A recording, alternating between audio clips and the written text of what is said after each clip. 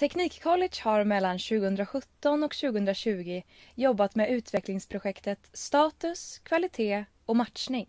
Ett av fokusområdena har varit att få in lean och ständiga förbättringar i elevernas utbildning så att de ska känna sig bättre rustade när de ger sig ut på arbetsmarknaden. Här har Teknikcollege utbildat lärare samt tagit fram metoder och verktyg för att eleverna praktiskt ska kunna få jobba med lean och ständiga förbättringar innan de kommer ut i arbetslivet. Syftet är att öka unga människors attraktivitet på arbetsmarknaden och framtidssäkra de företag som finns i Sverige.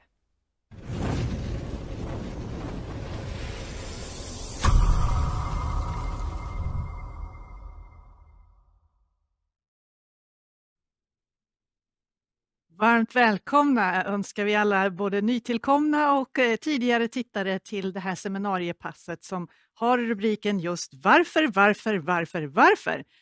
Och jag ställer mig direkt frågan till Günther Sand från Göteborgs Tekniska College. Varför heter det varför? Vilken bra fråga. Jo, men det är så här, fem varför. Eh, ställer man frågan fem gånger, då kommer man ofta till grundorsaken av problemet. Varför kom jag för sent till skolan? Jag var uppe för länge. Varför var jag uppe för länge? För jag kollar på film och så vidare. Så att fem gånger, då kommer man ofta fram till rotorsaken. Då. Och, och, det är ju det som är så intressant med dagens seminarium som just ska hantera ett begrepp som kanske är mer vanligt inom industrin än vad det är i skolvärlden alla gånger. Och det vi pratar om här är någonting som vi kämpar med dagligen. Många av oss känner igen sig i de ständiga förbättringarnas frustration. Men framförallt så är vi lite nyfikna på att höra lin, var kommer det ifrån? Ja, om vi kan gå tillbaka till runt 1915. Eh, Henry Ford startade ju massproduktion och eh, då körde man ju löpande bandet men man körde pushmetoden, det vill säga man hade inga kundorder. Vi går tillbaka, eh, fram några år och då har vi en man som heter Taichi Ono som jobbade på Toyota, på Toyota som har då tagit fram det japanska systemet TPS, Toyota Production System. Och ytterligare några år framöver så har västvärlden tagit över det här systemet och vi kallar det då för lean. Det är bakgrunden till var lean kommer ifrån. Vad spännande! Och vi kommer ju nu att både få lyssna till din presentation, vad ni har gjort, vilka verktyg ni har jobbat med och vad som har kommit ut av de här lärdomarna. Och vi kommer också att ta hjälp av eh, Rasmus Bäckman som, som eh, för, eh, kommer från företagarsidan och vi kommer också ta hjälp av Mattias Magnusson på länk som är lärare som du också kommer att... Mm, det stämmer, de har ju deltagit i projektet. Ja. Och då är det så här att eh, jag kommer att lämna scenen till dig och eh, presentera lite mer så kommer jag tillbaka sen och ja, summerar av. Ja, bra. Scenen är din. Tack. Jo, okej. Okay. varför, varför, varför, varför, varför står jag här? Eh, jo, det är så här att införa lean, det är, gör man ju av flera orsaker. Eh, jag tänker det finns vissa framgångsfaktorer det här bygger på. Man, jag kan ju nämna några av de framgångsfaktorerna som är viktiga. Och det är att eh, både i skolan och på företagen så är det viktigt att man börjar i toppen och eh, inför förståelse för lean i verksamheten. För att det sedan ska sippra ner i organisationen och man får en förståelse i hela organisationen. Så både i hemmet, i skolan och på företagen så är det väldigt viktigt. Men det här projektet nu, eh, det har ju startats på grund av att eh, industrin har en eh, ruskigt dramatisk förändring nu med, med tanke på digitalisering och alla smarta applikationer och utmaningar. Och då, är det, då frågar vi oss, hur ska vi inom Teknikcollege ramar förse skolorna och lärarna med verktyg, alltså metoder för att göra våra elever anställningsbara med de kraven då som företagen ställer. Och en fråga ni kan fundera på under den här föreläsningen då. Vad är kundvärde ur skolans synpunkt? Målgrupper vi har haft i eh, det här projektet, det är ju såklart elever. Men de har inte jag träffat utan jag har träffat pedagogiska personalen som har varit med i de här grupperna vi har haft undervisning i. Men vi har även haft APL-handledare och skolledare. För då kan vi koppla tillbaka till Tommy Töjes eh, föreläsning tidigare om att APL-handledaren har en väldigt, väldigt viktig roll. Och då är det bra att APL-handledaren känner till det här också. Vi har även haft med skolledare i projektet, bland annat från Oskarshamn. Hur har vi genomfört det? Jo, men det är så här att jag representerar då Göteborgs Tekniska College. Hej alla på Göteborgs Tekniska College. Och eh, det är då eh, vi då som fått i uppdrag av att eh, hålla i denna delen av projektet. Och vi har startat då tre utvecklingsgrupper med ungefär 30 personer. En utvecklingsgrupp i Oskarshamn, en i Västervik samt en i övriga riket. Och vi har då med olika övningar och hemläxor försökt implementera lean i skolans verksamhet på de här orterna. Och eh, i och med att det är lite olika grupper så har det här gått till på lite olika sätt. I Oskarshamn och Västervik, då har vi kunnat gå ut i verksamheten och titta på förändringar som har gjorts. Medan övriga riket, vi har samlats upp i Stockholm och då tar man med sig bilder på de grejer man har gjort. Så vi jobbar med förändringsarbete, både teoretiskt och praktiskt. Det finns fem lean-principer som vi fokuserar på och det är viktigt att man känner till de här när man börjar jobba med det här. Det gäller att fokusera på kundens perspektiv. Och då tänker man inte bara på slutkunden, utan man tänker ju även på interna och externa kunder. Man levererar aldrig något dåligt till den interna kunden heller. Och eh, vi har ju interna kunder i skolan också. Eh, lärare, elever och så vidare.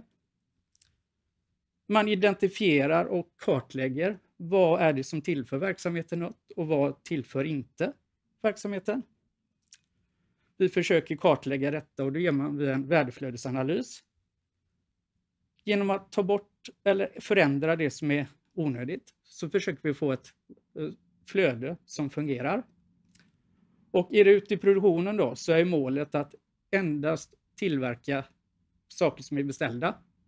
Enda gången fabriken får stå stilla det är när vi inte har några kunder. I övrigt ska man köra, men man får inte vara rädd att stanna om vi inte har kunder. Och slutmålet är då perfektion. Metoder vi har jobbat med, det är linspel, som ni såg i den lilla filmen. Vi har jobbat med 5S, standarder och instruktioner. Värdeflödesanalys som jag nämnde tidigare. Förbättringsarbete med Kaizen och PDCA. PDCA är en förbättringscykel. Det är alltså rutiner på hur man jobbar med förbättringar. Sen har vi då gjort studiebesök och haft handledarutbildningar. Ett av studiebesöken vi har gjort, det är hos eh, Rasmus på Saab Barracuda. Och det är nu jag hade tänkt att vi skulle koppla in dig Rasmus. Tack så mycket Günther. Rasmus Bäckman här från Saab Barracuda. Eh, har en fabrik här utanför Västervik. Ja, vi hade äran att ha dig och ett gäng lärare på besök här eh, för dryga året sedan. Eh, och för oss som företag kändes det ju självklart att, att engagera oss i Teknikcollege som helhet men framförallt här nu där, där Lean eh, kom in och, och eh, äntligen blir en uppmärksammad del här utav utbildningen. Jag tror det är ypperligt att driva det genom Teknikcollege.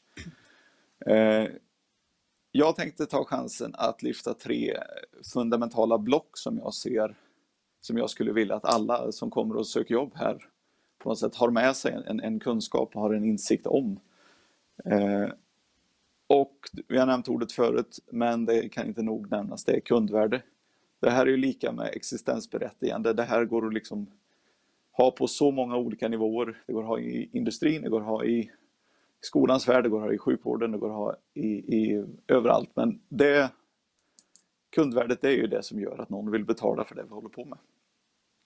Eh, ju bättre jag kan specificera kundvärde och det jag håller på med, desto bättre kan jag som individ också identifiera, men vad är det då som inte är kundvärde och i, i lintermer är, är slöseri. Och som, som jag ser det då så är, är önskan att ja, men i, i alla yrkesutbildningar och, och, så måste det finnas ett, en förståelse för ja, men det här med kundvärde, men det är det som är existensberättigandet. Eh, nästa fundament är, är standardiserat arbete. Ibland så kan man få uppfattningen att en, en uppmaning till förbättringsarbete är ett eh, ja, frikort för individen att hitta på vad som helst och, och, göra precis som man själv känner att det funkar bäst just nu. Eh, men det är inte lean. Eh, lean bygger på att det finns en, en gemensam standard. Eh, jag skulle vilja säga att om vi nu tänker oss ett förbättringsarbete som något gående i en trappa eller klättrande på en stege så är den gemensamma standarden är någonstans, det, det, det är det som är stegen, det är där vi tar avstamp från. När vi tillsammans kommer på en, en förbättring vi vill införa, ja, men då måste vi ta avstamp i en, en gemensam standard för att det ska eh, bli något bestående och bli något eh, ja, mätbart och inte bara kaos och vilda västern. Eh, den sista delen där är, en subjektiv eh, bit, men som jag ändå vill nämna i det här som, som ett, ett lean-fundamenta och det, det har med individens eget driv att, att alltid bli bättre. Eh, det är en otroligt viktig merit. Jag tror alla arbetsgivare skulle kunna skriva under på att det är någonting man söker, det är någonting man försöker få fram i en intervju. Eh, men som sagt, det är subjektivt, det är inte en, ett eh, engelskt glosprov, det, inte, det, går inte att mäta med en, en geografikarta där man ska pricka in huvudstäder, utan eh, jag förstår utmaningen att säga att men det här drivet ska vara en del i skolans eh, uppdrag. Det, det, är en tuff utmaning, men som jag ser det så är det ett kulturbygge som måste ändå finnas där, för att det är så otroligt viktigt och så otroligt meriterande för eleverna när, om man lyckas med det här. Eh, jag tror kulturbygget behöver ske både i klassrum och eh, ute på praktik. Eh, en, en, personlig reflektion är också att, att det gör även, eh, det, för den enskilde individen så blir yrkeslivet otroligt mycket roligare om man har det här drivet. Så Günther, för mig så de här tre kundvärde, standardiserat arbete och det egna drivet är, är eh, det jag skulle vilja skicka in i, i det här projektet som någon form av röst från Saab Barkuda här. Ja, det är härligt. Det var spännande att titta hos, eller hos, hos dig och eh, det var otroligt givande och eh, vi tackar för att du deltog här. Tack så mycket. Tack. Eh, vi går vidare för att Rasmus nämnde ju det här med ständiga förändringar och ständiga förbättringar och det är på det sättet vi har jobbat i grupperna. Så att det var väldigt kul att få komma och titta i Barracudas fabrik. För att eh, vi kände igen väldigt mycket som har varit på de här tre heldagarna vi haft innan. Och eh, totalt i projektet har vi haft åtta träffar per grupp och man kan säga att eh, eh varje eh, gång vi träffades så fick man redovisa en läxa som eh, man har haft med sig till nästa träff. Och eh, första läxan egentligen var ju att man skulle hitta ett område sin, i sin egen verksamhet som man ska göra 5S på då. Och för er som inte vet vad 5S är, som lyssnar här nu då, så kan jag nämna då att eh, 5S, det är ungefär samma som att eh, om jag hade haft en tonårsson hemma, då hade jag sagt till att städa ditt rum. Men eh, det jag egentligen vill berätta för den här tonårssonen det är att sortera bort det du inte behöver i ditt rum. Till exempel gamla pizzakartonger eller Noccoburkar. För det ska inte stå framme i rummet. Eller gamla tallrikar med matrester och så vidare. Sortera bort det. Och sen ska man försöka hitta att var sak har sin plats. Det vill säga att man systematiserar, man bestämmer var varje grej ska stå. Sen kommer ju punkt tre. När man har sorterat bort det man inte använder, man eh, systematiserar, så börjar man städa. Då kan man ju göra lite ordning och reda, försöka ta bort saker som skapar smuts. Man eliminerar smutskällor. Sen kom vi in på en av de punkterna Rasmus var väldigt tydlig med, att eh, man gör en standard. Man skapar regler och rutiner, vilket är viktigt för att alla ska veta hur det här går till. Och sen den femte punkten då som är svårast. Vi ska se till att vi sköter våra rutiner. För det här kommer inte fungera bättre eh, om alla, eh, om alla inte lever upp till det här så kommer inte det här att bli bra utan man får hålla på till alla vet hur rutinerna funkar. Och nu undrar jag om du är redo Mattias, för jag tänker att vi kopplar över till dig. Okej. Okay. Eh, då kör jag helt enkelt. Ärligt. Jag ska försöka få ett eh, så kallat eh, lärarperspektiv eh, kring den här. Jag var ju då en av de som tillhörde eh, övriga landet, vilket var bara det var spännande att träffa. Jag var väl nog längst söderut i Eslöv som jag befinner mig på Karl Engströmskolan. Och sen längst upp i norr var det då i Luleå. Eh, bara det är ju spännande. Eh, jag tänkte ha så här att eh, generellt sett så i skolans värld så är det oftast vi, vi vänder oss oftast till, det är alltid Skolverket som kommer och på något sätt trycker in saker som vi i skolan ska göra. Eh, vilket i och för sig är bra ju och eh, man har pratat, ja, till exempel, jag har några exempel där, läslyft. Vi ska göra eleverna bättre på att läsa. Alla lärare ska vara svensklärare, om jag får raljera lite. Eh, vi har även matematiklyft, till exempel. Hur på något sätt kan vi förbättra elevernas matematikkunskaper? Och vad jag har känt under mina 16 år som lärare faktiskt, är att eh, som tekniklärare att det har varit liksom en, vad ska man säga, man har själv som tekniklärare på något sätt försökt Eh, Eh, man har suttit på sin egen kammare och grubblat lite kring olika saker och hur det funkar. Och eh, Teknikcolleges är ju ett fantastiskt nätverk och när chansen kom till ett linlyft som jag kallar det för då, för jag är van i Skolverkets eh, former, tyckte jag att det här lät ju kanonbra för man har ju själv försökt hela tiden. Eh, vad fasen är det? För man har ju vi har prat, man pratar om det på, i den utbildning teknikprogrammet som jag har. Eh, pratar vi verkligen om eh, Toyotas produktionssystem när man, när man undervisar i produktionsteknik. Och eh, så har man själv på sin kammare försökt hitta bra undervisningsmetoder så att eleverna förstår orden och allting sånt. Så eh, jag eh, måste säga att det var eh, härligt att få ta del av eh, Göteborgs Tekniska College då och med Günther i spetsen hur helt enkelt praktiska eh, verktyg som man faktiskt mer eller mindre kan helt enkelt plocka in och arbeta med i klassrummet med eleverna. Eh, Günther har nämnt några men alltså eh, Alltså det var, om man tar sin, hans första övning, liksom den här med att vi skulle försöka implementera själva FMS. Eh, jag gillar ju att tävla med eleverna och det går ju mycket lätt att jobba med samma sätt med eleverna. Han sa det i tonårsrum. Det går ju ganska snabbt att tänka ut att okej, okay, om jag vill mina elever förstå FMS så får de ju själva göra det. Det vill säga ge dem, jag utmanar dem själva, jag tar på mig och tävlar med dem att eh, vi ska själva, jag väljer ett område som jag vill 5S-implementera någonting i och så får eleverna göra samma sak, till exempel sitt eget tonårsrum. Och så försöker vi jobba med eh, systematiken. Liksom. Eh, vad jag också upplever som en bra grej med den här är ju att vi lär eleverna kalla det linspråket. Alltså det är ju eh, positivt och negativt. Det kommer från Toyota och eh, där är en del japanska ord och det finns en viss kan man kalla det, österländsk kultur i det som är lite spännande. Men det gäller ju att träna sig eleverna att använda begreppen och använda språken. Språket, liksom att de eh, lär sig helt enkelt att eh, ja, vad är FMS? Vad är ständiga förbättringar? Hur jobbar företagen med det på ett standardiserat sätt? Kan vi knyta in det som Rasmus säger. Vi måste, våra elever måste tänka sig att eh, det är inte bara att gå in och försöka göra förändringar, vi måste komma överens eh, med varandra. Hur ser förändringarna ut?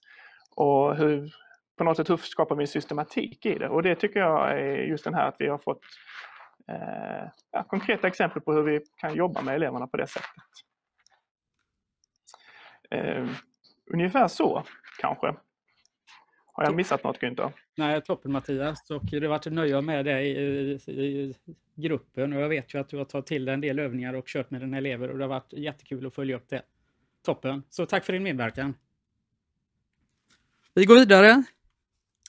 Och eh, nu tänker jag ju då knyta ihop eh, säcken här eh, för mina 25 minuter och projektet, åttonde tillfället då, det var nu i Göteborg och vi startade projektet med att alla deltagare har fått eh, lära sig vad ett linspel är och då får man ju även lära sig alla de här verktygen som vi har jobbat med.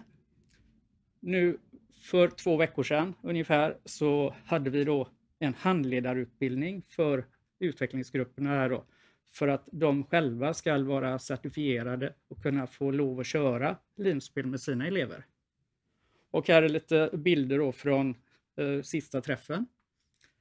Vi har även eh, gått igenom lite grann om flaskhalsteori, vilket är en viktig del för att kunna få värdet att flöda. Där sitter vi och jobbar två och två. Och sen eftersom resten av gruppen inte kunde vara med så skickar vi över en hälsning från alla i gruppen eh, som var i Göteborg. Och här har vi då folk från Olofström, Oskarshamn, eh, Köping, Landskrona och Helsingborg och Göteborg. Så det var väl det här jag tänkte gå igenom. Vad tyckte du Mia?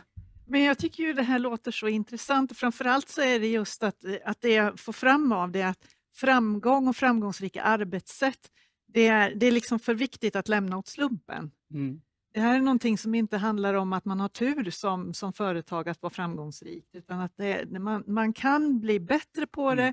Om man jobbar med systematiken och att man får rätt verktyg för det. Exakt, och man förstår vilka framgångsfaktorer man behöver använda. Det är ju ja. liksom nyckeln. Ja. Annars går det inte. Nej, och det, det där är så, då förstår jag när du brukar säga att det här är ingenting man bara kan applicera i, i klassrummet eller på arbetsplatser utan att det faktiskt är något vi kan gå runt och, och lära oss själva. Mm. Vad har du själv, om du skulle lyfta fram en sak du själv har lärt dig under den här tre åren när du har jobbat med det här?